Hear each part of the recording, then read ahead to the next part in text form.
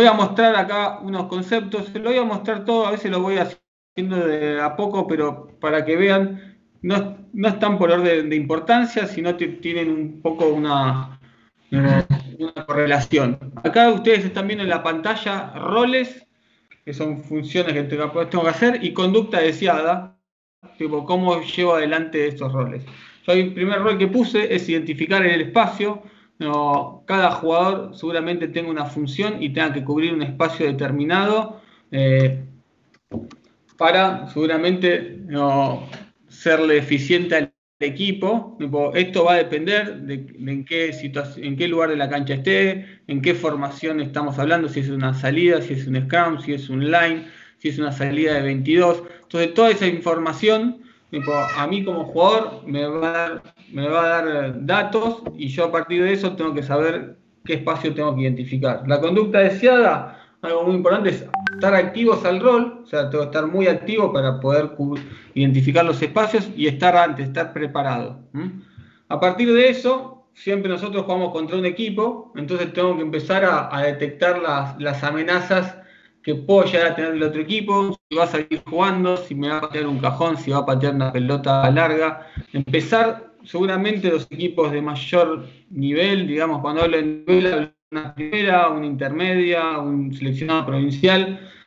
seguramente hay un estudio del, rival en lo cual yo voy a saber si determinada situación patea o en determinada situación se jugando. En definitiva, esa palabra es un poco anticiparme a saber lo que, lo que va a hacer el rival, el radar, que de ahí ver un poco el, panorama y empezar a, entender la, la situación. Todo esto va a llevar otro rol clave que va a ser, ya estoy identificando espacios, detecto las amenazas, me tengo que empezar a comunicar con mis compañeros para que todo esto empiece a tener una sinergia, usando palabras, escuchar. Cuando hablamos de comunicar, a mí está bueno que es algo que, está bien escrito acá, que lo habíamos hablado en su momento con el Nero cuando hicimos estas no, generalmente uno habla de comunicar y, se, siente que tiene que hablar, que lo cual está claro. Pero es tan importante escuchar como hablar, porque eh, somos dos o somos tres en este caso, y la importancia de, escuchar es tan importante como la de, hablar. ¿eh? Los gestos seguramente en determinadas eh, situaciones o estadios o otros niveles pasan a ser importantes. Acá la, como habla acá el próximo rol, que es la amplitud, el ocupar espacios, son espacios grandes, son pocas personas, lo cual a veces el grito no llega a comunicarme, entonces tengo que tener un gesto, una visión periférica de ir, mirar al rival, mirar a mis compañeros, ubicarme. ¿eh? Ahí habla de mantener las distancias efectivas, la conexión que tenemos que tener eh, con mis compañeros, dependiendo seguramente del sistema que yo como entrenador eh, eh, haya, haya, haya decidido. Y después la lectura y la ejecución. Va a llegar un momento que, que, después de hacer todo esto, va a llegar el momento del acto, digamos, donde el equipo, el otro equipo despeje y yo tengo que estar bien parado para agarrar la pelota de aire. Seguramente si estoy bien parado la voy a agarrar de aire. Si no estoy bien parado, voy a llegar tarde y seguramente la pelota me pique, que es lo que pasa creo que en el 90% con el negro siempre, de esto lo venimos hablando hace, hace años, es decir, no puede ser, a mí me pasa en la primera Pucará, que lo cual hay muchos jugadores de selección, y yo digo, pica siempre la pelota. Me traslado a mi época también muchas veces. Eh, y decís, ¿por qué pica siempre? Porque está mal parado, no porque el jugador no la quiere agarrar de aire. Entonces siempre reacciona ante la patada, porque todo esto que estuvimos hablando antes, identificar espacios, las amenazas, anticiparme, comunicarme, tener la, distancia efectiva, no lo cumplo y en el momento tanto de hacer un buen tackle como agarrar la pelota de aire, al, no estar eh, yo en buena posición, seguramente no sea eficaz. Entonces, llego tarde al tackle, llego tarde a agarrarla, ¿Eh? Antes, Entonces, antes que sigas, me gustaría que, hables un poquito de eso, porque me parece recontra interesante. Yo pensando en los entrenadores que, como decías vos hoy, no es únicamente una primera o un plantel superior, sino que en la formación de los chicos, eh, esas referencias que vos estás dando, por ahí no hay que contarle un montón de cosas, pero la referencia de que la pelota no pique, es decir, que con el objetivo de tener ya le estás dando algo para trabajar a un chico que tiene por ahí 14, 15, 16 años, que está en el fondo con un montón de espacio y decir, bueno, mira, vos lo que tenés que lograr es tomar la pelota de aire. Y para eso, bueno, vas a tener que comunicar, vas a tener que ubicarte mejor en el espacio, si somos dos, si somos tres, tenés que empezar a cubrir y a leer. Pero me parece que esa referencia que vos estás marcando está muy buena para nosotros como entrenadores para decir, bueno, una de las primeras cosas que le vamos a decir a los chicos o le vamos a pedir es eso, que agarren la pelota. Algo que parece tan simple, pero vos acabas de decir que después avanzan en el tiempo y no, no lo tienen claro. Está claro. A veces, a veces está bueno empezar primero por el objetivo, decir el objetivo es que la pelota no pique. Y después cuando uno está en el entrenamiento en el partido, decir, viste que te está picando, bueno, ahora veamos, vayamos a ver cómo hacemos para que la pelota no pique. Y creo que, como dice el negro, a él le va a caer en la cabeza que la pelota no pique y que obviamente si la pelota no le pica nunca más, todo lo que estamos hablando antes, tipo, lo están cumpliendo seguramente. ¿Mm? Hay algo importante de esto, que es lo que va a venir después, que ustedes estuvieron haciendo el, cuestionario o el cajot, que es un poco la parte más, digamos, entretenida, donde yo pongo imágenes, que en definitiva es un poco más divertido, donde hay diferentes sistemas que, se puede llegar a defender. No hay muchísimos, pero hay diferentes sistemas para, para cubrir el fondo de la cancha, pero cualquiera de los dos sistemas ah, necesitan estos roles y conductas deseadas. Entonces, esto lo tenemos que tener como base y como lo que nos da la claridad. Después definamos con qué jugadores vamos a defenderlo, eh, de qué manera lo vamos a, defender, pero algo muy importante ahí es, eh, llevar esto adelante. Así que ahora paso un poco más a, la, a, lo que son los, videos. Ahí yo en la gente de Salta pregunté si habían visto el cuestionario o el Kahoot y la mayoría lo había visto, lo cual está bueno porque yo a veces pongo play en los videos, están medio trabados, ustedes ahora me van a decir si está trabado o no. Si quiere la gente de San Juan, que no lo había preguntado antes, vaya poniendo si hicieron el cuestionario Kahoot, porque bueno, si vieron los videos, eh, por lo menos ya tienen en la cabeza de lo que estoy hablando. Primero díganme si está corriendo bien y después vayan escribiendo si hicieron el cuestionario o el Kahoot. Sí, ahí hay, justo hay uno que dijo que no, que no lo pudo hacer, pero lo, lo, lo, van a volver a hacer ahora al final, Luqui. Idealmente, no, la charla, la verdad que lleva, el tiempo que lleva es, termina durando una hora y media y capaz no quiero que se extienda eh, más. La mayoría, muchos lo hicieron, eh, pero bueno, prefiero explicarles ahora y bueno, de última después evaluamos. Hay varios que ponen que no pudieron ahí, ya veremos eso y ahí pasamos se ve bien el video. Se los pasamos igual. Lo bueno de eso es que son cosas que pueden hacer en otro momento. Nos avisan que no lo pudieron hacer, se lo volvemos a enviar y lo hacen en cualquier momento. Está bueno. Está corriendo bien, porque si corre bien, a mí me gusta frenarlo a veces. Sí, no, acá bien. bien. ¿eh? ¿Vos lo ves bien? Sí. Bueno, estoy con buena internet hoy, por eso. Ustedes ahora me tienen que ir diciendo qué diferencias ven entre, tienen que ir escribiendo, los que vieron el video lo pueden ir escribiendo ya, entre esta defensa del fondo que hacen los Pumas, a diferencia de la defensa del fondo que hace Irlanda. ¿eh? Si quieren, vayan y después lo vamos discutiendo. Vayan escribiendo mínimo hay dos, tres, tres diferencias.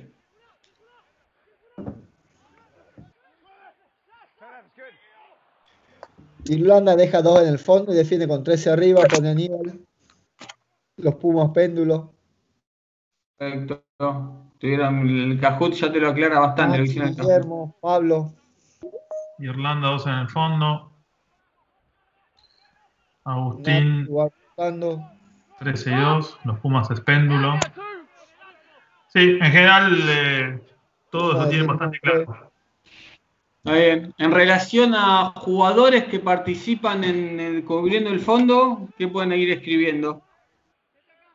Hay una diferencia ahí y hay algo. Generalmente cuando hablamos de los tres del fondo estamos pensando en los winners y fullback.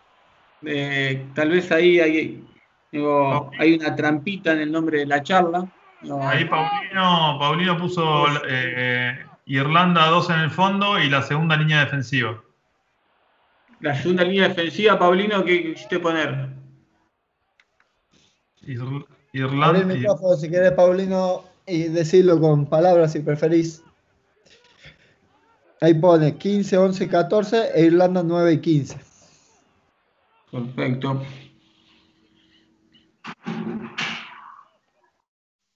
No, lo que, lo que estoy viendo, que en Irlanda, la segunda línea defensiva, el 9, no la o sea, para el fondo. Perfecto, Pablo. Eso quería lo que quería que, que, digas. Está bueno lo que decís. Porque la verdad que, bueno, por lo que veo, hicieron el cuestionario, las, preguntas del Kahoot te da un poco la respuesta que yo estoy, buscando. Entonces, las grandes diferencias entre los dos sistemas, yo mientras que voy hablando voy pasando y voy, voy mostrando las diferencias. Es que en este caso los dos sistemas son efectivos y los dos sistemas funcionan muy bien. algunos tienen algunos pro en algún sentido y otros tienen unas contras. Si vos me decís eh, en mi punto de vista, a veces el péndulo requiere de mucha más coordinación, que hace que los tres del fondo se muevan, se muevan mucho más. Uno ahí ve a Bofeli, cómo se va anticipando a la, situación. Entonces, este jugador, que es la apertura, y porque eso lo vamos a hablar un poco más tarde, tipo, eh, Irlanda ponía el scrum, pero tenía que haber como una conexión entre los dos. Una vez que Irlanda abre para el otro lado, Boffelli empieza como a llevar la conexión para el otro lado, este win sube, la apertura en este caso cubre un poco este lugar y el fullback empieza a cubrir. Entonces, la función ahí vende Boffelli, que está un poco, digamos, involucrado en la segunda línea defensiva. Si hubiera habido una patada de los irlandeses, seguramente eh, lo hubiera cubierto. Así que yo ahí veo como una ventaja en lo que es el sistema este de péndulo.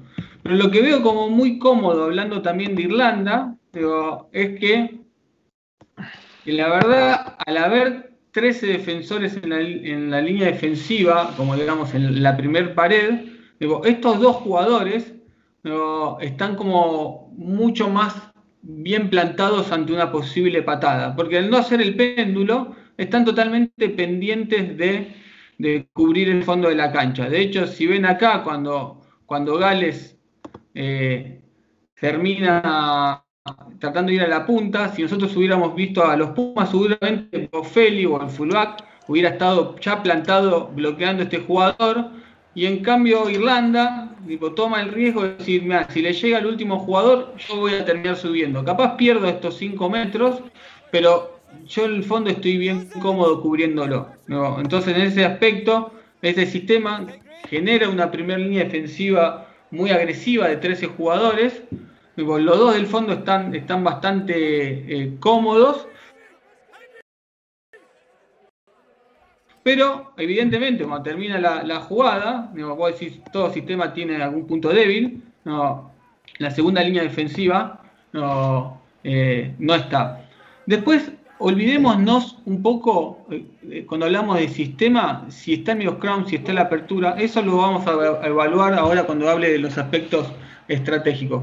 Pero quiero que me vayan escribiendo, más allá que por lo que veo entendieron las diferencias, si, si las ahí hay una pregunta de Mar, no sé si era Martín, Cabaña, ¿a qué se llama péndulo? Está bien, péndulo es, digamos, una especie de, palabra que se usó en relación a esa, a esa a ese dibujo que hacen los tres del fondo, como que siempre van trabajando eh, en, digamos, en tándem conectados y van de un lado para el otro definiendo para qué lugar estamos. Entonces, la palabra se trató de buscar a algo, evidentemente relacionado a lo que hace un péndulo, digamos, de ese ida y vuelta conectados, y pasa por ahí. En el caso de Irlanda, la verdad que nosotros no sabemos si Irlanda lo llama 13 más 2, es, es una definición que le pusimos nosotros, cada uno le puede poner el nombre al sistema que. Pero lo que era importante que yo quería mostrar en esta situación, lo que nos pasa a todos los clubes de, la Argentina, y siempre me incluyo cuando hablo de todos, eh, que vemos que los Pumas o los Jaguares entrenan, eh, defienden en forma de péndulo, y nosotros lo que hacemos, ellos son los mejores, entonces lo copiamos.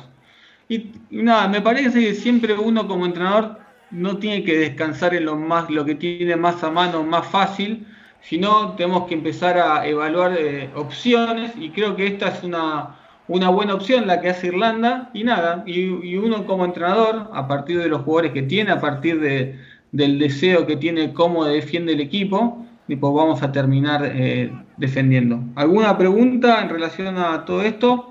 a mí lo que me, gustaría agregar, que eh, por ahí parece evidente, pero siempre está bueno nombrarlo, es que lo, lo, que vos elijas para defender en el fondo tiene un impacto directo sobre y tiene una conexión directa con la defensa. Vos lo venís hablando, pero, pero está bueno tenerlo en cuenta y tenerlo presente que, eso tiene un impacto. O sea, si vos usás un péndulo, eso que vos decías, marcabas, decía, bueno, la conexión entre los del fondo, pero eso va a impactar en la seguridad que tenga la primera línea defensiva. Ah, y, al revés lo que decía Irlanda, que decir, bueno, tener, los dos fijos y los 13 fijos adelante, también es, es una manera de impactar.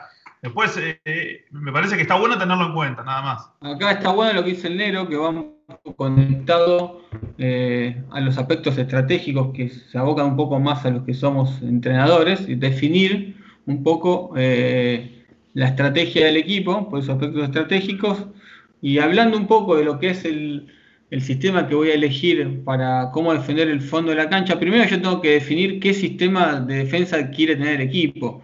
Seguramente si yo elijo un sistema de control que se usaba, me acuerdo en nuestra época, me acuerdo de negro, vos en Biarritz era totalmente de control y momento eran agresivos cuando eh, se llama el número. El fullback no se involucraba nunca. De total flotaban tranquilos. Entonces, si yo elijo un sistema de control, seguramente pueda poner los dos en el fondo eh, hasta como Irlanda, tipo, o más. No necesite hacer esa situación de péndulo total a mí, generalmente la situación del péndulo, eh, cuando uno elige un sistema agresivo y el win está cerrando, siempre está quedando uno afuera libre. Irlanda lo deja libre hasta que tenga la pelota en mano y recién ahí avanza.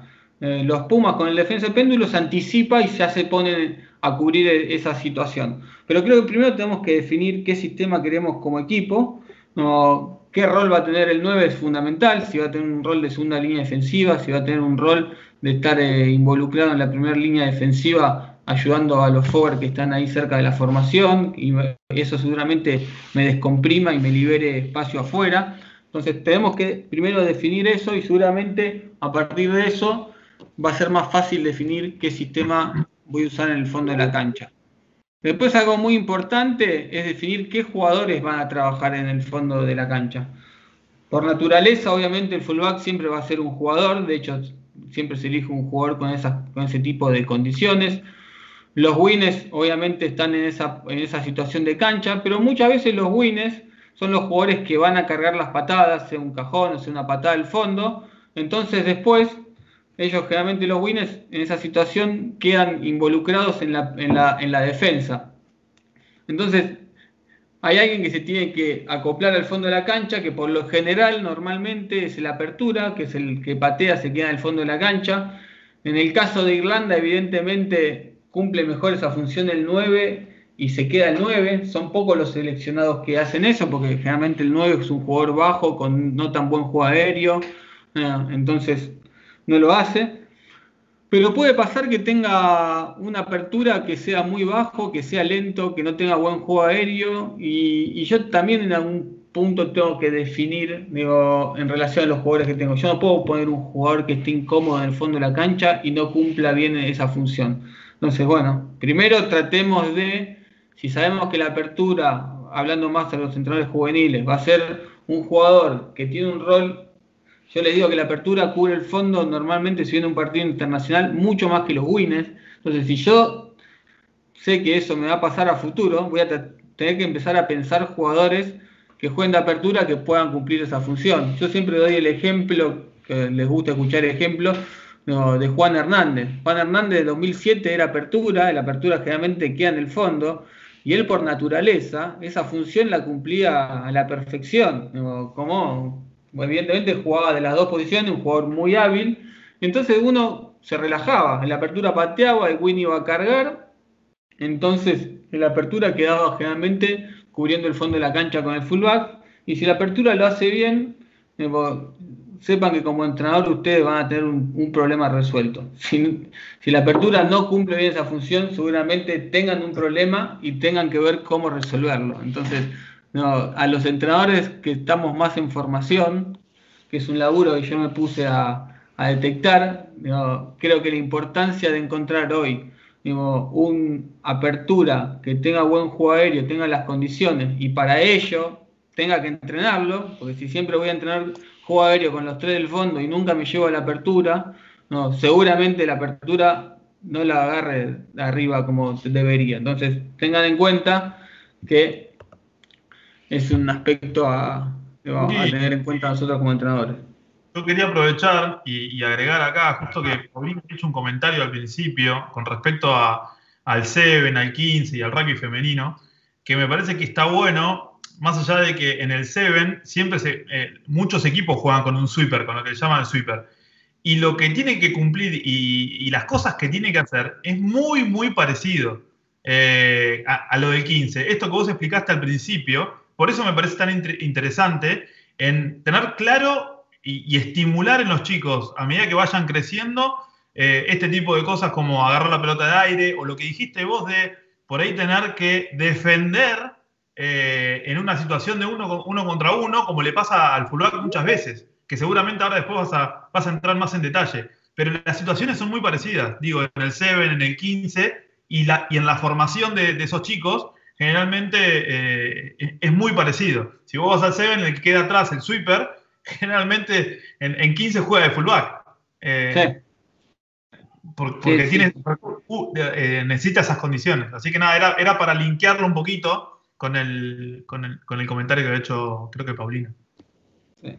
Así que ahí creo que esa parte que estamos que hablaba el negro, nosotros tenemos que también definir qué jugadores, por aspectos técnicos y físicos, curan, ese, y es un, la verdad que es dificultoso, porque es un espacio muy grande, que, generalmente el juego aéreo tampoco es, sencillo, pero les aseguro que cuando un entrenador tiene bien cubierto el fondo y bien tranquilo, ustedes lo ven en partidos cuando Bofeli va a buscarla arriba y uno casi está tranquilo de saber que la va a agarrar o está muchas veces bien parado bueno, eso nosotros lo tenemos que elaborar y preparar y cada uno en, su ámbito, a su nivel, pero seguramente cuanto antes lo hagamos en, divisiones formativas o infantiles, juveniles, eh, va a salir mucho mejor. Que eso es un aspecto que ahora van a tocar un poco más la boa, con un poquito el negro, que son cómo entrenarlo. Uno, al principio, cuando yo les voy a mostrar esto que les muestro ahora,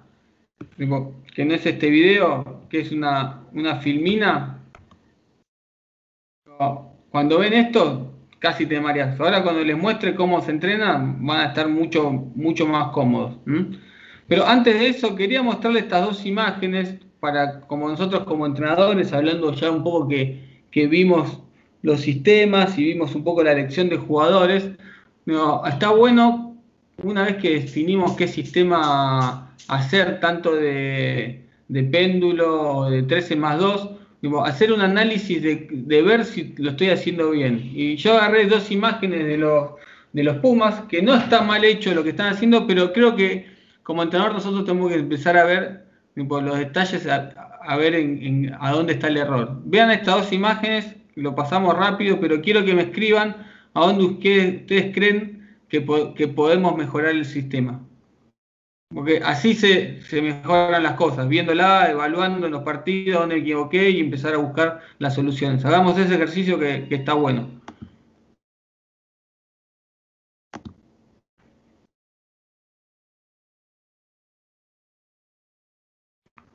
Yo mientras voy hablando, vean, otra vez está la apertura en el fondo de la cancha. Este es un recurrente, entonces si lo podemos entrenar, los winners del fullback, el fondo de la cancha, y nunca llamamos a la apertura, cuando esté en la cancha, en el partido, va a estar en problemas. Acá vemos el péndulo, este es Bofeli, ¿no? Este es el Nico, y el otro lado, Nico se está trayendo al otro Win. El Win ahora está empezando a hacer el trabajo de péndulo con esto. Acá hay un quiebre, bueno, todos sabemos más o menos cómo termina. Acá hay otra situación parecida contra Sudáfrica. Mientras vayan escribiendo, muchos hicieron el Kahoot, así que la respuesta casi que ya la tienen, o las opciones, pero está bueno charlarla y buscarle la solución. Este es el win, que está un poco retrasado, pero ya se empieza a involucrar en el semiataque más arriba. Acá está Bofeli, que está cubriendo por una patada en el fondo de la cancha, y Bofeli, al estar tan cerca del también se está trayendo un poco al otro win, porque estos trabajan en tándem. El win, Bofeli y el otro win, ¿no? Ahí Pablo dice, circulación lenta, dejan muy expuesto al wing. Perfecto, supongo que debe estar hablando de este wing, en este caso es Moyano. Yo lo que vi en las dos situaciones es que la primera fase estuvimos cómodos, estuvimos, Bauti cubrió bien el espacio, Bofelli cubrió bien el fondo de la cancha, pero seguramente tanto Sudáfrica como Francia eh, estudió, dijeron, mirá que cuando vamos, cuando en primera fase está muy bien, cuando volvemos rápido, este, esta seguridad del péndulo que va para un lado, cuando volvemos rápido para el otro, eh, tiene que volver a los piques. Entonces ya no, no, estoy cómodo parado. ¿Cómo creen ustedes que podemos solucionar o darle herramienta a los jugadores para decir, mira, está llegando tarde a la segunda o a la tercera fase de ida y vuelta? ¿Cómo te parece que.? Y el jugador te va a decir, mira, no llego uno como entrenador, ¿qué herramienta le puede dar y decir para que esto, para que Moyano hubiera agarrado esta pelota de aire, que era el objetivo inicial? Si, quieren ir escribiéndolo, a ver qué cosas se le va ocurriendo. cómo... En la vuelta el salteo no lo cubrimos bien, Gonzalo Roca dice se desordenan, eh, Aníbal dice con Francia lo que se debe mejorar es que el de atrás nunca sube y se queda a la altura de las 22 corre sobre la línea, nunca sube. Ahí, esa parte que yo creo que el fullback, al trabajar en forma de péndulo, cuando nosotros definimos el sistema, el fullback evidentemente se tiene que parar. cuando hablas de líneas, ahí me ilusioné un poco, pero no hablaste de la línea correcta, me parece. Digo, que no es tanto la de 22, no tanto de la profundidad, sino otra línea de la cancha. ¿Qué línea se le ocurre que, que en este caso, a ver, la muestro, le doy una ayuda. ¿Es necesario que Bofeli esté tan pegado al touch? Digo, si cubre esta patada, sabiendo que después tengo que volver. ¿A dónde ustedes lo ubicarían? Para, si Moyano está acá. Sí. Que no hay que trabajar entre 15 y 15, dice Sergio Peña, las 15, en las 15, dice Agustín. En las 15 estaría mejor. Eh, ahí, esa pregunta estaba en Cajut, ahí tuvieron lo que hicieron. Seguramente, que para mí no está mal marcado el fondo, pero la pelota en definitiva picó y a Moyano le terminó picando bien, pero si picaba para el lado de Sudáfrica, capaz le agarraba un sudafricano y terminaba en el ingol. Entonces, nosotros como entrenadores no nos tenemos que quedar que si no fue try, digo, la dejamos así. ¿cómo podemos solucionar esto? Aníbal, no sé si ¿Querés que Aníbal, que no sé, por ahí que quiera hacer una pregunta o algo, levantó la mano? Dale, obvio, la, abrí el micrófono más, mejor. Si quiere levantar el sistema de levantar la mano. Hola. Hola, hola negro.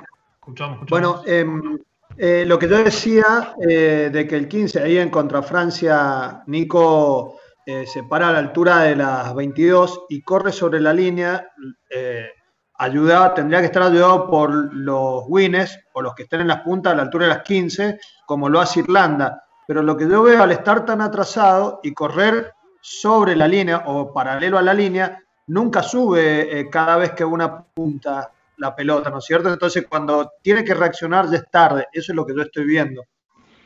¿Me explico? Sí, sí, sí, sí, te explicaste perfecto. De hecho, acá hasta hay una exageración en este caso de, para mí de capaz de Bofel involucrarse un poquito antes. Yo creo que los jugadores, no, eh, seguramente si acá lo hubiera agarrado este jugador francés, lo hubiera matado de un tackle, tipo Bofeli, estaríamos hablando.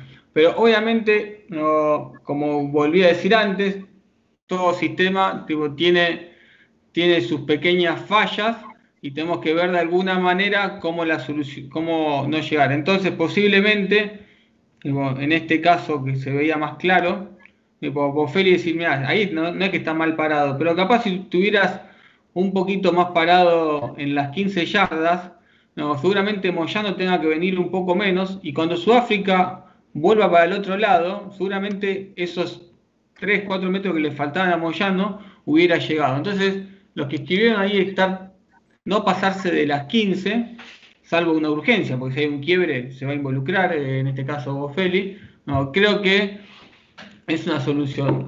Más allá del detalle le estoy hablando, porque lo de Irlanda tiene la misma situación creo que quería dar un ejemplo de cómo uno tiene, una vez que elige el sistema, cómo tiene que hacer un análisis de ver qué se está haciendo bien y qué se puede mejorar. Y seguramente no, a, a los jugadores estén más cómodos, más seguros, pero seguro tenemos que hablar del tema y, ponerlo sobre la mesa. Si no lo hablamos nunca, seguramente el error siga, siga surgiendo. Y es un, es un poco lo que yo veo que pocas veces nos ponemos a analizar este punto, este aspecto del juego los entrenadores y todavía menos a entrenarlo. Entonces, muy difícil que lo podamos mejorar y es un aspecto, para, para mi entender, fundamental. ¿Mm? ¿Alguna pregunta? ¿Algo, ¿Alguna duda? ¿Algo? acá estaría terminando un poco esa primera etapa, yo le dije que era parte más táctica, estratégica de, de sistemas. No, así que si después la vamos a capaz a volver un poquito más al final en las conclusiones, pero y vamos a pasar ahora un poco más a la parte de, destreza, de cómo una vez que yo tengo el sistema y estoy bien parado en la cancha y los jugadores lo entienden, cómo llevarlo bien a cabo. Si yo estoy bien parado y después me la patean y, no, la, y no la agarro, no puedo saltar bien, no tengo un buen gesto, seguramente no, tenga función. Entonces lo que viene ahora también es una pata fundamental que mayormente son las que entrenan los juveniles o entrenan mucho en la academia y está muy bueno. ¿Mm? Acá, acá pregunta, pregunta, ¿cuánto se puede tener prevista la anticipación para evitar la, reacción y tomar decisiones tarde? ¿Cómo, cómo no, no escuché la primera parte? Dice, ¿cuánto se puede tener prevista la anticipación para evitar la reacción y tomar decisiones tarde. Yo no, Yo la, evalúo primero en que el jugador tiene que estar atento y para mí si, si tenemos la herramienta para tener un estudio previo de qué hace el rival, no, seguramente los que estén en primera división vean rivales del rival que le va a tocar y ustedes van a saber que en determinadas situaciones Acá la apertura es de patear un rastrón o el medioscano es capaz de patear un cajón. Si cuanto más yo estudio al rival, o sé lo que hacen los wins o patean patadas cruzadas como pateó recién el sudafricano, cuanto más tengo información sobre el rival, más mejor voy a anticiparme. Y después si no tengo esas herramientas de estudio del rival, porque estoy en, divisiones juveniles, que hay poco video, menos video o imágenes no tan buenas, seguramente la atención para mí va, a tener un rol fundamental. Entonces estar bien parado y estar antes, como decía la primer filmina, activos al rol, va, va a generar que cuando algo suceda yo esté mucho mejor preparado. Creo que esas dos cosas creo que... Eh, también, lo que está bueno, sobre todo para edades tempranas, que sirve después para cuando son más grandes, pero ayudar a los chicos a que miren a los pateadores. Porque el pateador, generalmente, ya sea el 9, el 10 o el 12, o el fullback contrario, en el momento de ejecutar una patada, siempre toma un gesto. Siempre hace, gestos distintos. Y eso a mí me sirve eh, para anticiparme en algunos metros, aunque sea. Y después lo que dijiste vos, muchas veces uno empieza el partido y en los primeros 10, 15 minutos uno más o menos ve lo que hace el rival o, la primera vez que sale de su campo y, está atento a ese tipo de cosas, entonces se puede empezar a anticipar un poquito. Son, nada, herramientas medias caseras. Perfecto. Eh, eh, negro, y sumando un poco, creo que además de conocer eso del rival, primero que algo, no importa contra quién juguemos, es importante que los chicos eh, conozcan el rol que tienen, que identifiquen esos roles, del porqué, de la ventaja que tiene el estar antes, de la ventaja que tiene anticiparme, de conocer, de ocupar el espacio. Eh, esa parte creo que es, fundamental y no, y no depende del rival. Este, y después en el mismo partido ya vas, ya vas conociendo al rival e incluso en un M15 contra la apertura del rival, ellos mismos ya han jugado alguna vez, ya se van conociendo en cualquier división. ¿no? Casi es muy pocas veces la primera vez que juegan contra ellos. Entonces, algo van, van conociendo. Y, y, aprender, enseñarles a que tengan esa lectura durante el partido. Bueno. Perfecto. Ahora, saliendo un poco de esa primera parte que digo, vamos a pasar un poco a lo que es eh, los aspectos técnicos de, juego aéreo mayormente. Vamos a ver, juego con el pie, lo, vamos a ver un poco más por, por arriba. Pero bueno, esta parte del juego aéreo la va a llevar un poquito adelante la, la boga, Diego. Eh, así que te dejo, Diego. Yo involucrándome, te voy pasando las filminas, así no te. Vale. Ahí como, como dijo Luca, eh, planteó Luca, eh, completan este, este pilar, esta forma de darle seguridad al equipo, no solo la parte estratégica, la parte del sistema, eso del estar bien parado, sino que además de estar bien parado, eh, la sepa atrapar en el punto más alto, sepa ir a disputarla y, y dar la seguridad al equipo desde ese aspecto. Y así como le hacía la pregunta antes Luca de cuánto entrenamos esa parte estratégica, cuánto entrenan en sus equipos, ustedes, y por ahí pónganlo en el chat, o, el que quiera abrir el micrófono y, hacerlo algo más extenso, ¿cuánto entrenan este gesto técnico? Así, así como, también. Como cualquier gesto técnico eh, eh, tiene una, mientras van respondiendo, voy contándole, tiene una preparación, una ejecución y una terminación. Un montón, dice Agustín. Poco, casi nada, dice Agustín. Poco, casi nada. Y después eh, lo que dice Lucas, ¿con qué jugadores involucramos en eso? Gran, gran agarrador de pelotas aéreas, ¿eh? Allá cuando jugaba en Bayón. ¿Agustín? Ah. Agustín Lopresti. pasada, ah. lo ponemos acá en la, próxima presentación, ponemos esa, esa atrapada. material. Ponemos un videito.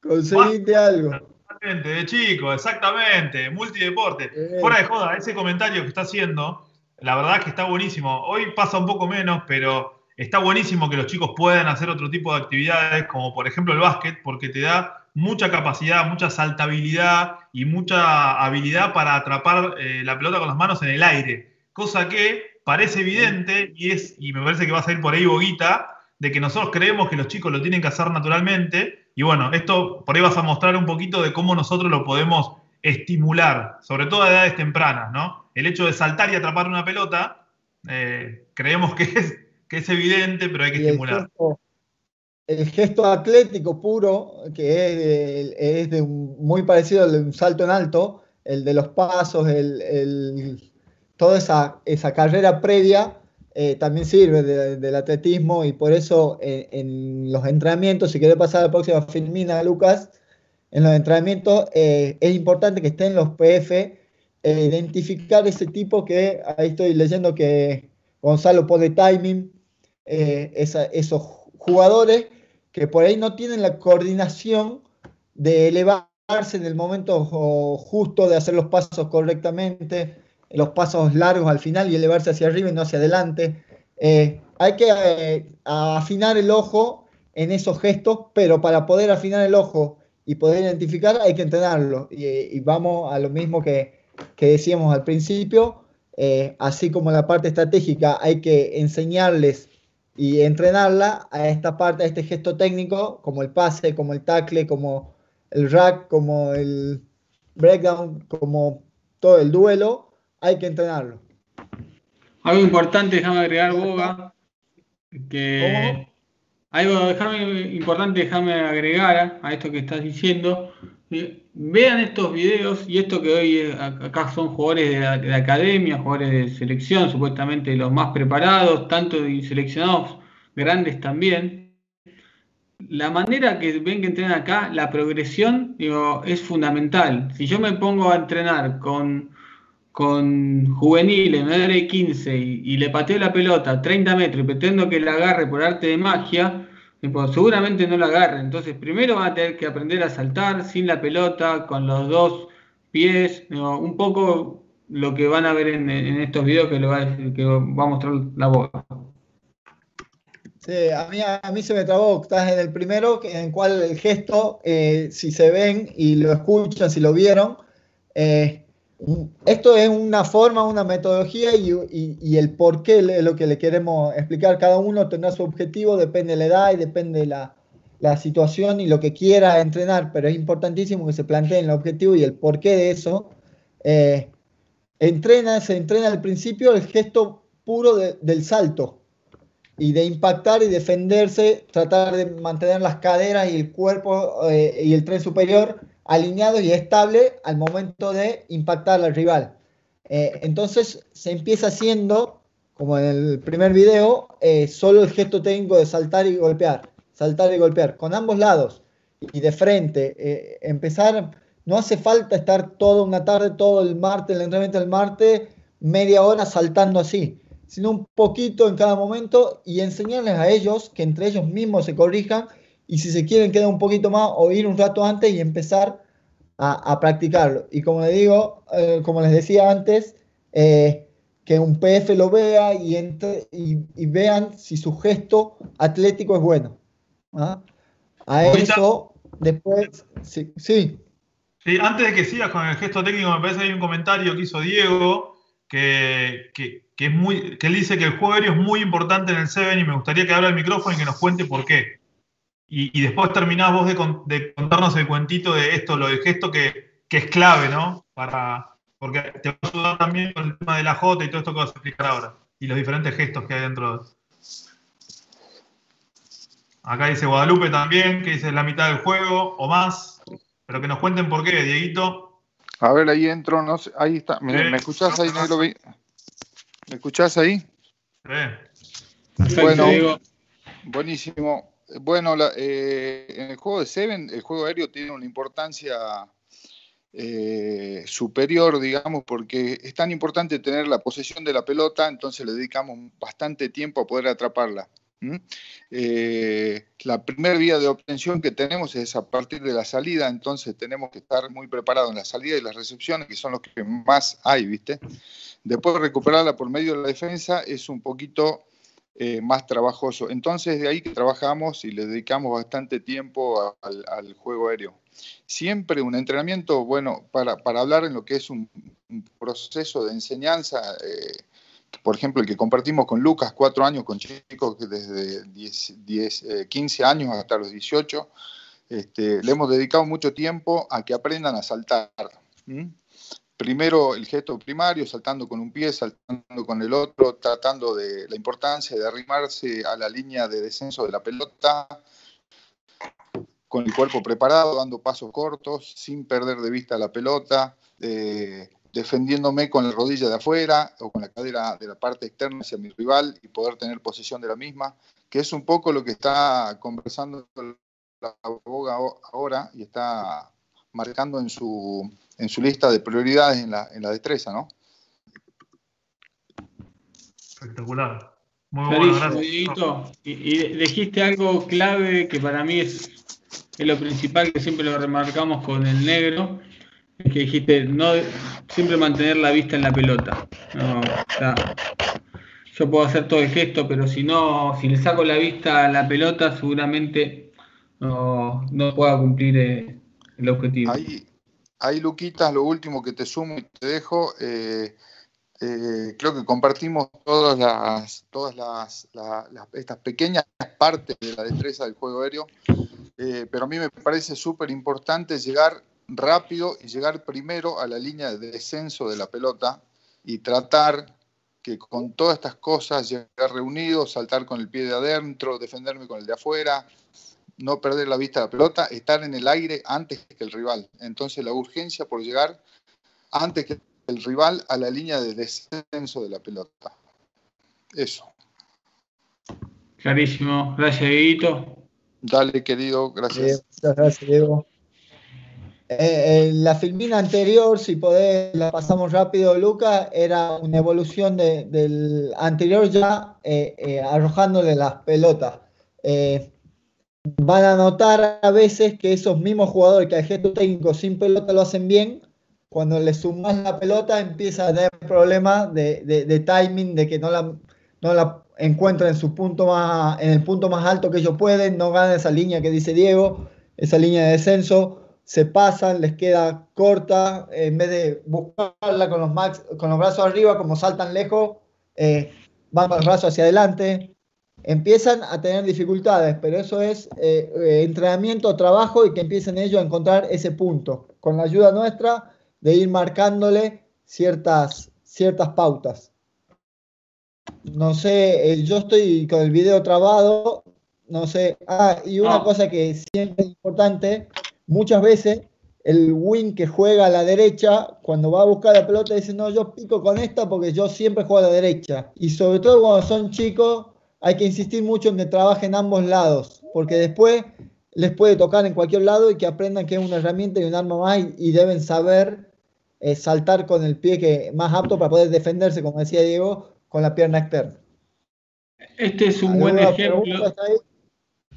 Le voy a mostrar mientras, si quieren preguntar algo, le doy tiempo, un gesto de un jugador de, Mar de Plata, de un centro, de, no, participa no tanto en la academia, pero participó, pero generalmente un jugador de centro que evidentemente laburó mucho el gesto aéreo.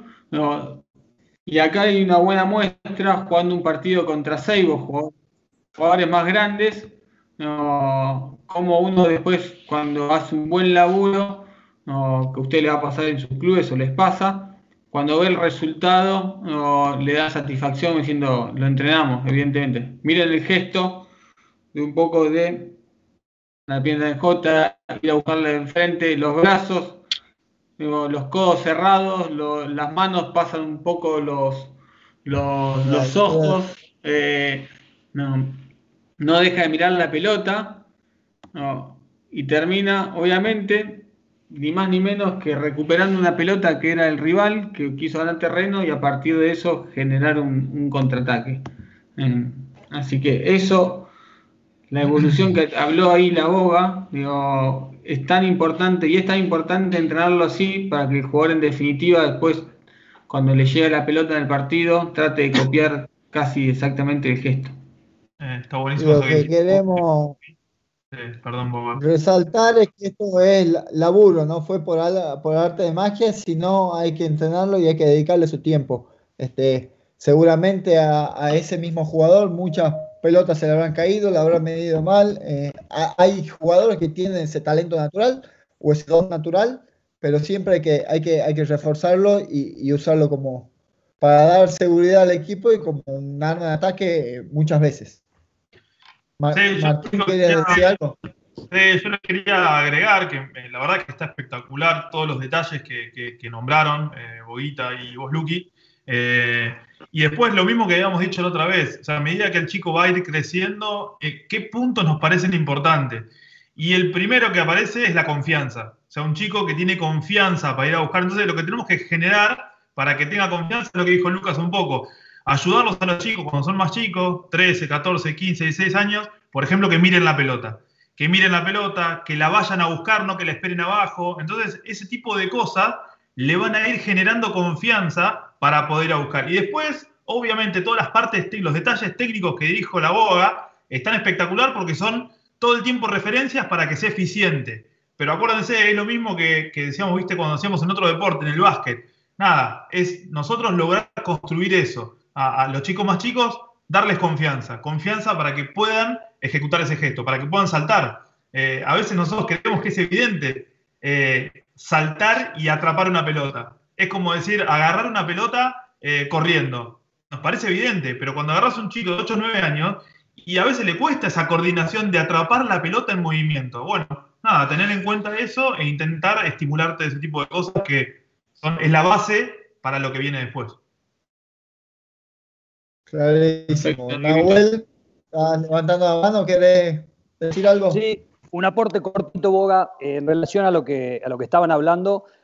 A veces parece que es igual decir no dejar de mirar la pelota a decir mirar siempre la pelota. ¿sí? Pero el mensaje es totalmente diferente. A nosotros nos enseñaron a no dejar de mirar la pelota. Pero hoy, con todo lo que ya sabemos del aprender a enseñar mejor y de, esta cuestión de tener un, lenguaje más constructivo, eh, sería oportuno enseñar a mirar siempre la pelota, ¿no? Y, sacar un poquito el pánico del error y, mejorar un poco el lenguaje para, transmitir y, dar más confianza. Buenísimo, Nahuel. Eh, Buenísimo el aporte. Andrés, poniendo un poco lo que. Ah, perdón. Andrés, respondiendo un poco lo que decís vos, eh, la carrera en J eh, la estamos usando mucho, sobre todo, a ver si te lo hago un poco más gráfico. yo pateo un cajón a cargar y mi win para poder mirar siempre la pelota, lo que hablaba recién Noel, no puede eh, pasarse, la, va como de costado a buscarla y al último hace una J para subir a buscarla y tener eh, posibilidad de defenderse con esa pierna externa que hablaba Diego. ¿Se entendió? ¿Me expliqué? Andrés no puede ir de frente a buscarla porque la pierde de vista. Entonces, como la tiene que ir mirando, no sé si en la cámara me lo grabé para ir mirándola. Al último hago una J para poder ir a buscarla arriba. Ahí te puso, ahí puso perfecto, me clarito. sí, yo, yo, estoy viendo el chat porque está compartiendo Lucas. Y así como, como también es importante el juego aéreo, también es muy importante en esos tres del fondo eh, la seguridad del juego del pie. Y también con la misma temática, eh, insistir en entrenar eso no solo en la parte de lectura, de estrategia, de sistema, del saber por qué pateo, cómo pateo, a dónde pateo, de, de, enseñarles a esos chicos a tener el criterio, a conocer el rol, el por qué, a dónde, en qué situación de partido estoy, en qué posición de la cancha estoy, eh, y el aspecto técnico. Eh, saber identificar si el chico no patea porque no sabe, porque tiene miedo a patear, porque tiene miedo a que los compañeros eh, le digan algo, a, que el entrenador le dice no, ¿cómo va a patear? O no patea porque no sabe cuándo tiene que patear y cuándo no. Eh, hay que ir enseñándole desde chico, así al igual que hablábamos recién del aspecto defensivo, del saber ubicarme, también el aspecto eh, del juego con el pie, el por qué. Y enseñar que es un por qué, no es sacarme la pelota de encima, sino es eh, eh, eh, con un sentido de recuperar o de ganar territorio o de transmitir presión. Y para eso también hay un montón de, ejercicios. Jorge hace un comentario re interesante que dice que él como profe de educación física recomienda hacer énfasis en anticipar las trayectorias. yo, yo, le, digo el cálculo de la trayectoria. ¿sí? Y, por ejemplo, no parar, no saltar a donde va a caer la pelota, sino saltar antes del lugar donde cae la pelota para poder atacarla. Y todo eso es, tiene que ver con el cálculo de la trayectoria. Eh, está muy interesante, está muy bueno. Y a veces creemos que los chicos lo tienen que hacer naturalmente y, no es tan evidente. Está muy bueno. Acá. Sí. Sí, Boguita. Eh, no, esos pasos de corto que decía Diego son de ajustar para para llegar a esa línea de la trayectoria y los pasos largos que he hablado yo son al final para poder tener un mejor despegue eh, hacia arriba. No eh, eh, aprender a que el chico no, sal, no, no salte mucho hacia adelante, sino siempre un poco hacia adelante, pero lo más arriba posible para encontrar la pelota lo más alta posible. Voy a pasar un poco, Boguita, poco paso la página de lo que es las destrezas de juego aéreo que creo que quedó bastante claro, para pasar un poco a, la conjunción de decir, bueno, ahora entrenamos, tenemos claro el sistema, tenemos claro entrenar eh, cómo hacer el gesto del juego aéreo o el juego con el pie, cómo lo llevamos a cabo. Que es la gran pregunta que, muchas veces nos hacemos porque decimos, tengo dos entrenamientos en la semana o tres, tengo que entrenar Scrum, mucho online, lanzamiento, jugar de los tres cuartos, defensa, limpieza de rack, así puedo seguir con un montón de cosas y nunca me da el tiempo para, para entrenar el, fondo de la cancha que evidentemente es importante. Bueno, yo acá le doy un poco una herramienta. Le voy a mostrar un ejercicio, que es un ejercicio que se puede hasta iniciar un entrenamiento de una manera de, de entrar en calor o mismo al final del entrenamiento cuando hacemos al final del entrenamiento que el equipo está un poco más descomprimido hacer algo un poco más divertido. Pero antes de mostrar esta imagen, otra manera que, que sí usé bastante en mi club al no encontrar el espacio y saber que era importante, es generalmente cuando entrenamos un equipo contra el otro, cuando un equipo hace lanzamientos y hay otro equipo que está defendiendo, mientras ese equipo está defendiendo, digo, que tenga una función, más allá de la función de defensa, que los tres del fondo tengan como una participación y una de cómo cubrir el espacio, cómo estar parados. Y seguramente si uno entrenador esté con el equipo que hace ataque, lanzamientos, otro entrenador puede estar con el equipo de la defensa, puede estar con el fondo hablándole, viendo cómo cubrir en cada espacio, en cada situación del juego. Y creo que eso lo va a ayudar un poco es un momento que podemos usar, que generalmente los entrenadores estamos con el equipo que ataca, un entrenador que se ponga con el equipo que está defendiendo tipo, y aprovechar ese momento y utilizarlo tipo, productivamente y no solamente tipo, darle foco a los que están atacando. Eso me parece una manera práctica de poder entrenar el fondo de la cancha. Y otra manera más de ejercicio es acá donde hay un ejercicio donde tenemos dos, tres jugadores en el fondo de la cancha. Tenemos como es una especie de terreno donde cuando los jugadores pueden patear la pelota, pueden contraatacar. Estos jugadores, una vez que la patea, como hacemos en el partido, va a habilitar a los otros jugadores. Bueno, lo voy mostrando mientras lo voy hablando. Acá podemos evidenciar, tipo, que vamos a entrenar kick, vamos a identificar qué jugadores lo tienen que practicar más que otros, vamos a identificar cómo cubren el espacio eh, del fondo de la cancha, quién está atento para agarrarla de aire, quién patea bien, quién patea mal, como ven acá. Pero más que nada tomar ese ejercicio de, comunicarse, de tener la distancia efectiva, de, practicar el gesto. Creo que es un buen ejercicio de una especie de terreno, un ejercicio que se, puede divertir. Acá hay, una un, hay un contraataque habiendo una oportunidad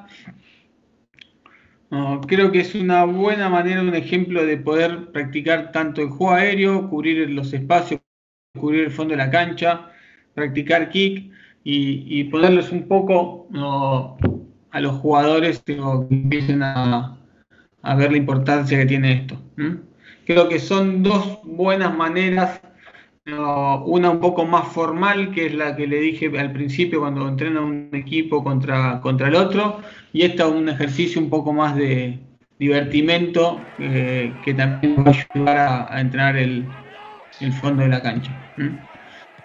Y otra manera que, es claro lo que dijiste de, la división de roles de los entrenadores en, en cualquier ejercicio, este, tener en cuenta eh, que dividiendo los roles, organizándonos, podemos entrenar más cosas y, ayudarlos a los chicos. Y una cosa más que eh, cuando hay un kick del rival, no es solo problema de los tres del fondo, los de adelante, los de la primera línea defensiva también tienen su laburo y tienen que ganar esa carrera por volver rápido, que muy pocas veces eh, como entrenadores le prestamos atención a esos y son importantísimos en volver a ayudar a eso que no, que no abandonen a sus compañeros de atrás y vuelvan a ayudar porque le dan seguridad también a ese, a ese jugador para ir arriba. Buenísimo, Boga, eso que decís. Creo que sí, los entrenadores generalmente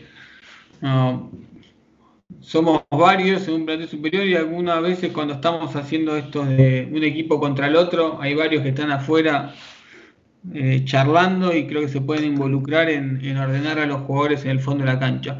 Y otra manera, que puede ser tanto ahora en pandemia como puede ser previa a un entrenamiento o en otro día de la semana, es plantearle a los jugadores diferentes escenarios diciendo, acá hay un rack en mitad de cancha, con el otro equipo atacando para un lado, para el otro, y agarrar al fondo de la cancha, sumando obviamente al 10 y decir cómo nos pararíamos ante esta situación. Y ir mostrándole diferentes escenarios, obviamente van a ver que cuanto más estoy en el campo rival, más tengo que cubrir, porque posiblemente aparte el otro rival al estar en su propio campo, más probablemente patee la pelota. entonces tengo que empezar a cómo cubrir el fondo de la cancha en determinada situación. Y nada, empezar a hacer ese ejercicio con los jugadores, es decir, por ejemplo, acá hay un rack donde dice espacio 1, y decirle al 11, ¿qué posibilidad hay? Y nada, me puede patear un cajón, por ejemplo. Bueno, entonces me tengo que parar acá. Perfecto, me parece muy bien. y el otro win dice, a mí me pueden llegar a patear una pelota cruzada como hizo Sudáfrica. Muy bien, te paras un poco más retrasado y estás eh, posiblemente cubriendo ese espacio y el full hay otro espacio. Y, a partir de eso, ir mostrándoles diferentes escenarios donde el jugador ya de antemano empieza a, pensar y definir dónde tiene que estar parado en cada situación. Yo siempre doy este ejemplo y también, más allá de plantearle situaciones de lugar de cancha, también plantearle situaciones de resultado. Es decir, el otro equipo está adentro de sus 22 yardas, lo más probable en cualquier situación es que patee, despeje y la patee afuera, para un cajón para recuperar. Pero también uno como entrenador le puede plantear, piensen que faltan tres minutos para terminar el partido y estamos perdiendo por cuatro puntos. La única chance que tengo es de ganar, es hacer un try. Entonces, seguramente el equipo tenga como posibilidad muy, muy verdadera sea jugar la pelota con las manos y no patearla. Entonces, estos jugadores tienen que pensar también a que esto no es automático.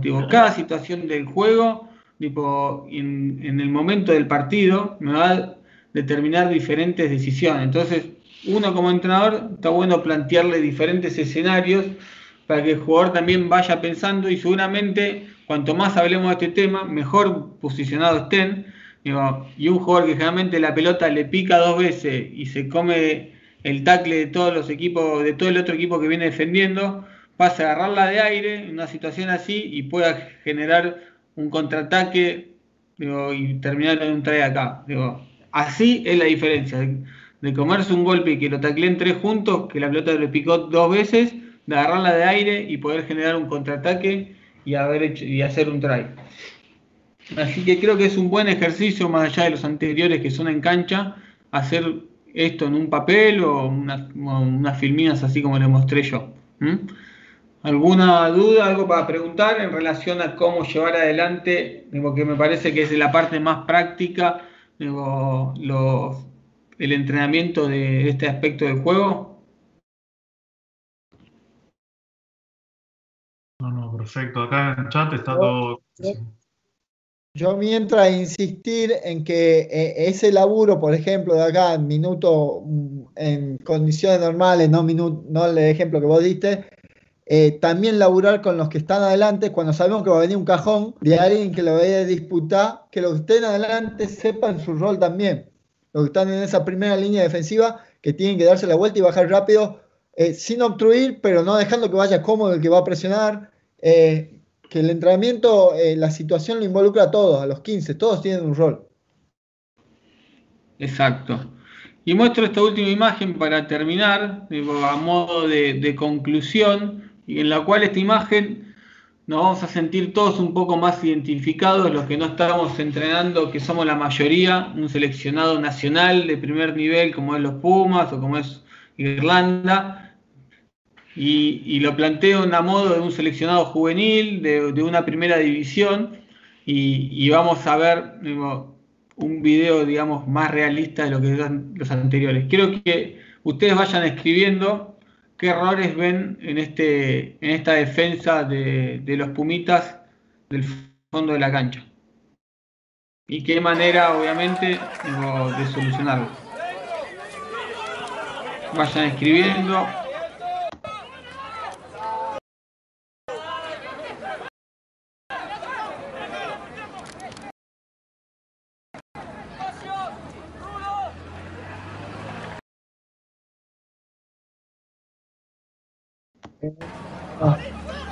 Dice, ¿podrías explicar esto de baja? Eh, creo que. ¿Eh? Agustín. Agustín. Agustín. Las puertas de contraataque generalmente, primero creo que una vez que cumplí con todas las funciones de, estar bien posicionado en el, fondo de, la cancha y obviamente agarré la pelota de aire, ahí se me empiezan a abrir oportunidades. Y creo que a partir de esas oportunidades, es un poco lo que decía la boga, que cuando mi equipo va bajando, yo como portador de la pelota, empiezo a ver primero qué jugadores tengo enfrente, y tengo que identificar si son tres cuartos rápidos, si tengo algún forward que está medio lento por ahí. Y seguramente cuando mis jugadores estén bajando, yo no, me ven ustedes porque está la presentación, cuando estén bajando en, la línea de, que va, del que me va a defender, seguramente ahí esos jugadores me puedan generar tipo alguna puerta donde yo me puedo llegar a involucrar. Eh, involucrar, digamos, eh, meter eh, para, generar un quiebre. Pero creo que lo fundamental que era lo que quería abocar hoy es para tener esas oportunidades, que las hay y son muy importantes, primero tengo que tener muy aceitado lo que es cubrir el fondo de la cancha, que, es lo que a priori más nos cuesta. Creo que la parte de contraataque, por naturaleza, los jugadores del fondo, una vez que la tenemos pelota en mano, tenemos esa virtud de, encontrar los espacios y generar quiebres, pero cuanto más la agarremos bien posicionados y de arriba, eso va a ser mucho más fácil. No sé si respondí ahí a la pregunta. No sé, por ahí capaz que más eh, eh, a ver, es cuando la línea de mis compañeros, yo soy de fullback o wing de atrás, es cuando mis compañeros se meten en el medio de la línea de presión del rival.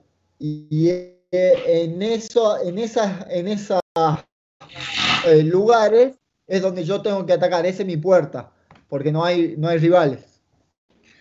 No sé si aclaró. A la pregunta Buenísimo ese. Sí, eh, antes es que con respecto a, dicen el, el, win del lado abierto eh, está muy arriba y lo deja solo al fullback. Exacto. Y después Pablo, Pablo Lizondo también contesta, dice un poco lo mismo. Eh, ¿Quién fue el que lo puso? Este? El win abierto.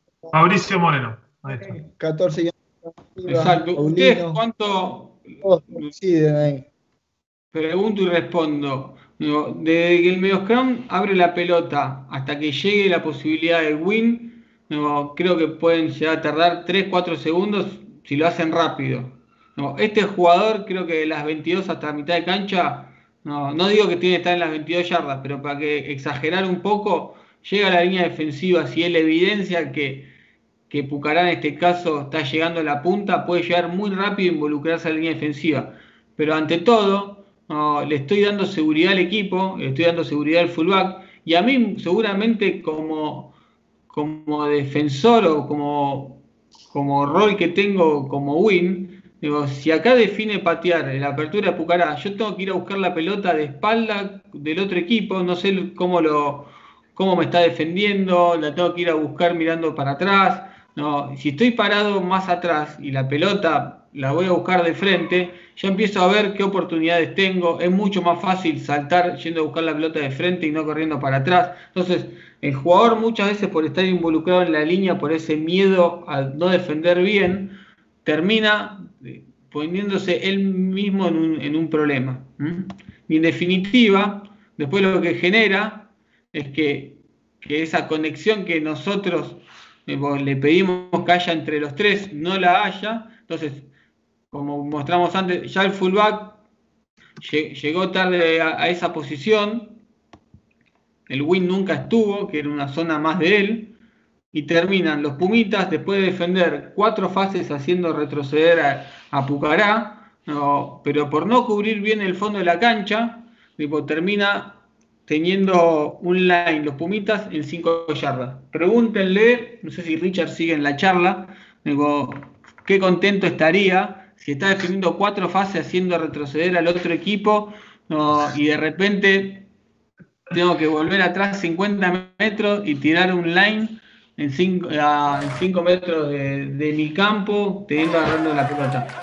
creo que, que ahí Richard me va a dar la razón evidencia, y ahí nosotros como los del fondo, tenemos que hacernos cargo de decir, tipo, nos tenemos que comer la puteada de todos los favores siendo flacos, tipo, están para eso ahí cubriendo y no cumplieron la función. Entonces creo que esta imagen evidencia un poco la, diferencia que hubiera sido, imagínense, si el fullback en este caso de los Pumitas hubiera agarrado la pelota acá en 22 yardas y pudiendo haber contraatacado por esta línea, terminando capaz en un rack en mitad de cancha, tipo con pelota en mano, ahora estar tipo el hooker de los Pumitas tirando un line en 5 yardas con toda la presión de, Pucará, teniendo que salir de ahí, seguramente Tapatá derive en un line en la 22 para, para Pucará y, todo lo que viene después. Entonces, creo que esta imagen la pongo siempre al final,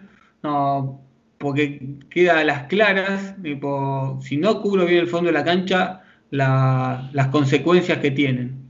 Eh, y, las oportunidades que puedo llegar a tener si sí cubro bien el fondo de la cancha. Entonces, como digo siempre, si esto no lo entrenamos nunca, ni nunca hablamos con los jugadores de este tema, si nunca los guiamos adentro de la cancha, por arte de magia no la van a agarrar de aire, porque van a estar mal parados, porque no van a tener los conceptos.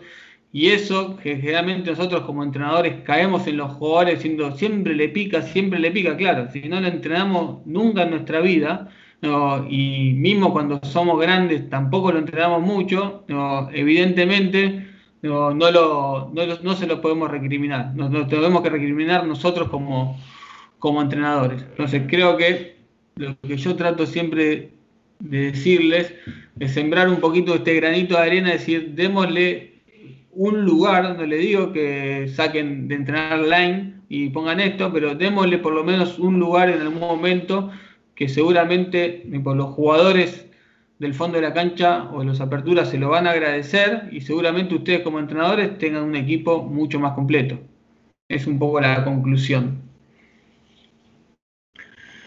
¿Alguna duda, algo em, para preguntar, algo que no quedó claro, algo que quieran agregar? Ahora un poco la presentación terminó, si quieren alguno levantar el micrófono. Eh, así que em, si quedó claro, mejor, y si quedó dudas, tanto Adrián como Agus tienen mi número de teléfono y estamos a disposición.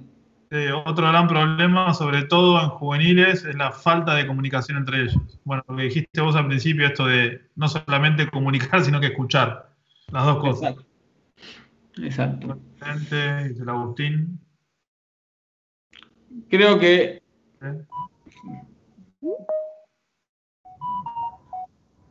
Creo que todos cuando vemos esta presentación, y yo mismo cuando la hice, pues si vuelvo a la pregunta inicial, es decir, entrenamos poco, mucho o nada este aspecto del juego. Creo que todavía yo cuando terminé la presentación dije entrenamos tan menos de lo que todavía pensé que entrenábamos. Entonces, creo que tenemos que... Y cuando ves que un partido, siempre repito, el 50% de la, la, pelota la tiene el rival y los tres del fondo tienen una función sumamente importante. Entonces, tenemos que darle la importancia que tiene. Yo, en forma de resumen, para mí estuvo, estuvo muy, muy bueno, muy claro, pero siempre eso que vos dijiste al principio, es decir, hay algunas cosas que te van a servir para el 7, para el 15 y, sobre todo para edades juveniles, y, son cosas que se repiten, eso de la lectura, leer y la lectura para ocupar espacios, ¿no? Son espacios grandes, cómo, lo, cómo, me, cómo me anticipo a ocupar los espacios, cómo me anticipo cuando ya estoy leyendo que hay un quiebre y voy a tener que intervenir en una, de una determinada manera. Entonces, no importa que, digamos, que vayan pasando por etapas, esas situaciones se repiten. Entonces, darles herramientas eh, a los chicos para que puedan resolverlas. ¿sí? No decirle, mira, tenés que hacer tal cosa, tenés que hacer, no. Siempre acomodarnos, ayudar con toda esta charla que estuvo buenísima para darles herramientas a los chicos y que es exactamente la misma situación en juveniles en 15 y en 7. Porque ahí, ahí estuvimos viendo, para la, para la parte de 7, no solamente para la salida, sino para el sweeper que queda atrás, están en situaciones muy parecidas, con espacios muy parecidos a, los que se enfrenta un tipo que juega en el fondo eh, de 15 en, toda su etapa formativa. Está, está muy bueno. La verdad que está bien. Ahí Nahuel García levanta la mano, pero no sé si está adelante, porque yo recién ahora la veo. Si Nahuel querés abrir el micrófono.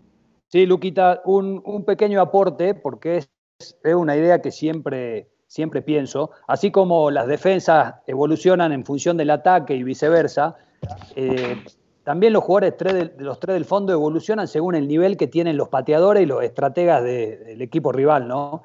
Y creo que en ese punto el rugby juvenil eh, no, no, no, no, siempre tiene excelentes pateadores en, todas las camadas. Entonces, a veces los jugadores, de los tres del fondo, recién se, encuentran ante la adversidad cuando suben a plantel superior o cuando van a un seleccionado provincial, ¿sí? Y quizá en su etapa de juveniles eh, no tuvieron esa dificultad, o porque no le pateaban mucho, o porque el juego estratégico no está muy desarrollado. Entonces el gran, el gran desafío le viene con dos o tres escalones por encima, ¿sí? Y, bueno, creo que eso, eso no tengo la receta de, cómo solucionarlo. Bueno, igual, ya que está muy bueno lo que decís, porque es algo que sí hablamos bastante los entrenadores de, de todo el staff de, la UAR, sea de los Pumas, tal vez lo que estamos más en juveniles, que somos los encargados de la detección y, definir un poco ciertos perfiles. Y, empezamos también a evidenciar en relación a lo que decís vos, que en algún aspecto el puesto, sin hablar de los tres fondos de apertura, tipo, ya tiene como una conjunción de, un puesto de apertura fullback hasta en el perfil. Hoy yo sí veo a a Santi Carrera jugando de apertura, tipo, no me llamaría tanto la atención porque un Barrett de, de, Nueva Zelanda es un jugador que juega de apertura, eh, es como que tal vez la apertura que nosotros vimos toda la vida, no sé, el Porta, digamos, que era el, prototipo de apertura, un tipo, tipo con buen kick, un tipo más, eh, capaz un poco más lento, pero de, de mucha distribución. Hoy capaz una apertura que sabemos que va a estar mucho en el fondo, puede tener un perfil más de un jugador muy rápido, de un jugador que, que tome decisiones o busque más el quiebre más que la distribución. Entonces está bueno lo que, lo que planteás y uno como entrenador se tiene que empezar a, hacer esas preguntas, decir, mira, también el rugby está cambiando y posiblemente el puesto de apertura que está tanto en el fondo de la cancha, capaz evidentemente tiene que ser un jugador un poco más rápido de lo habitual porque va a estar en esta situación muchas veces, pero está bueno un poco en relación a lo que estás planteando, hacerse esa pregunta y cuanto más preguntas nos hagamos, como yo me la hice en su momento cuando dijeron, che, está bueno si querés involucrarte a preparar esto, y empecé por algo chiquitito así, y es como que me di cuenta que hay un mundo y bueno, a un punto, este mundo no lo puedo trasladar todo a un entrenamiento, pero uno como entrenador lo tiene que tener en la cabeza. Bueno. Buenísimo, Luca, muchas gracias. Así que, así que bueno, espero que haya quedado claro y nos estaremos cruzando cuando todo esto termine, por favor. Así, estas charlas son personales, a mí me voy mucho a Salta por, amigos, así que esta charla me hubiera gustado ir a Salta y después ya que estamos pasamos a San Juan, negro, ¿no? no Picás, tic tic, picás el uno y te Así que, pero bueno, por ahora creo que esto es la, es la manera. ¿eh? Creo que bueno, estuvo bueno hacerla, estuvo bueno acompañarnos y a disposición como siempre. Muy buena participación de todos, espectacular. Gracias a todos, gracias a Boguita, gracias a Agus, Adrián. Eh, te mando un abrazo. Gracias a ustedes, chicos. Muy buena, Luca. Muy buena, Luca. Muy buena, Diego. Abrazo.